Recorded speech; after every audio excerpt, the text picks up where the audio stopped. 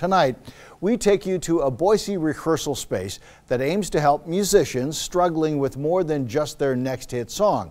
The Hive Boise is a sober rehearsal space with an in-house access to counseling. Six on your side's Madeline White joins us live in studio with more on how the Hive is helping some Valley musicians feel safe while they practice. Yeah, and despite having gone through some really tough times, one Boise woman says having a safe and sober place like this to practice her music in has not only helped her to live again, but to thrive. Walk past the Hive on any given day, and by the look and sound of it, you might assume it's a bar of some sort. But step inside and you'll see the only thing they're serving up is raw, face-melting talent. Hive Boise is a sober musician's resource, and for many artists like Sarah,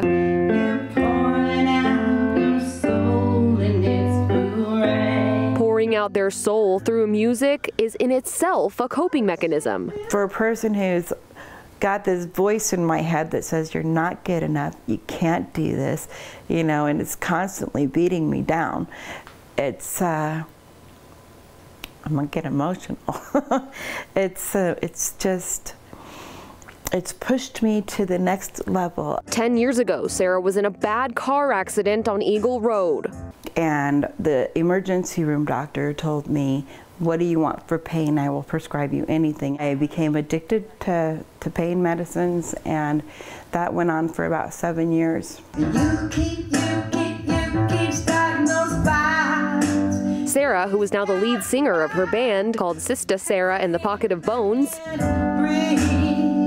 says she had just gotten clean from her addiction to opiates when she first came to the Hive three years ago. I wanted to stay sober. I didn't want to be in an environment like bars and, and clubs and hang around with people who were abusing pain medicines because it's a whole uh, community, you know.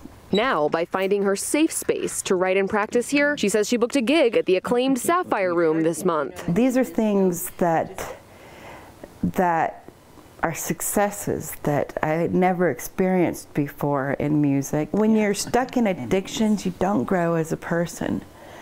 And that's what this place has done for me. It's pushed me to grow as a person.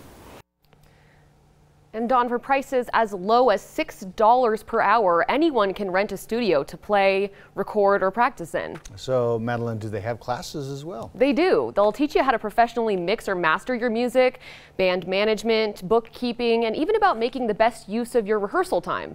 Sarah says the Hive is looking for more volunteers. So, if you would like to learn more on how you can help, visit boisehive.org. All right. Thanks, Madeline. Thank you.